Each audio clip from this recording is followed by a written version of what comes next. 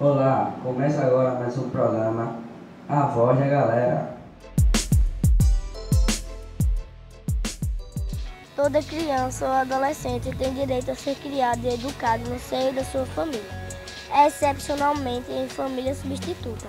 Assegurada a convivência familiar e comunitária em um ambiente livre da presença de pessoas dependentes de substância entorpecentes. A realidade de quem trabalha nas ruas na tentativa de resgatar vidas, combater violações a direitos que na maioria das vezes começam em casa.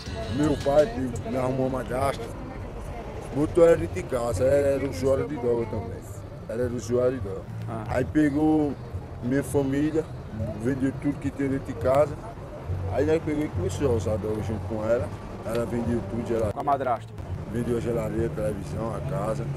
Aí começou a ficar... Isso vocês tinham quantos anos, mais ou menos? Assim, eu tinha mínimo assim, uns 10 anos. Né? O interessante que a gente observa aqui é que eles sentem que o pessoal é como se fosse uma família aqui, né? O pessoal do, do grupo aí do programa é como se fosse uma família para eles. Então eles se sentem à vontade, muitos já conhecem o pessoal há, há muito tempo e é interessante porque é uma família. Para você aqui, o que é que significa esse povo aqui? Para você, o que é que significa o povo aqui? Assim, o que significa para minha família, né? Mais à frente encontramos um dos dois irmãos do nosso personagem. Os três vivem nas ruas. Tu vai dormir aqui para ir pro curso amanhã?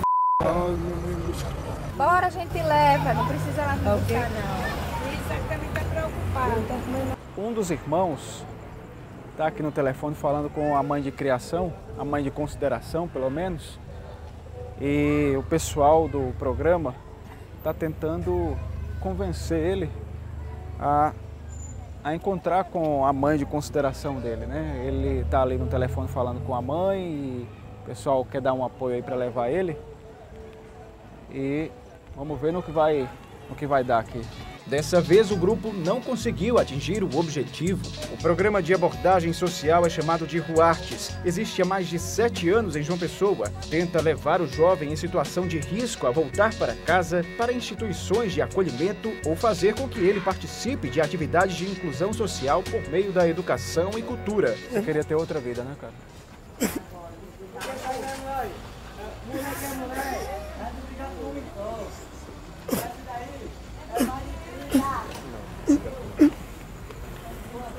Fica assim não.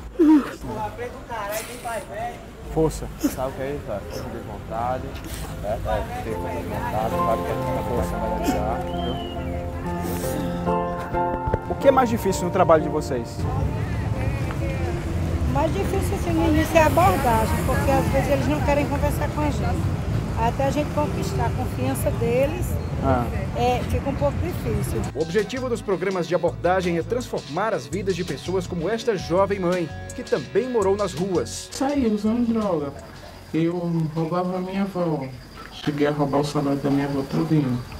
Porque no momento que a pessoa tá usando, né, rouba família. Aí roubava, botava pra fora. Aí ia pra casa da minha sogra, aí aceitava de novo.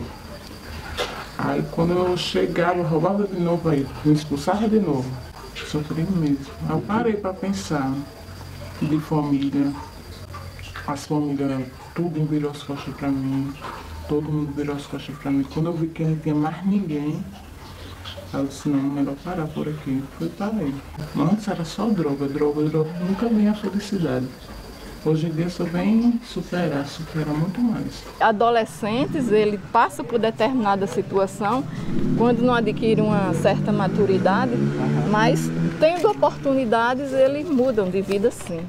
É dever de todos velar pela dignidade da criança e do adolescente, deixando eles a salvo de qualquer tratamento desumano, violento, aterrorizante, vexatório ou constrangedor. Por isso, fazer uma criança ou adolescente que está na rua voltar para casa é obrigação de toda a sociedade. No próximo programa vamos falar de outro tema, violência sexual. Até mais!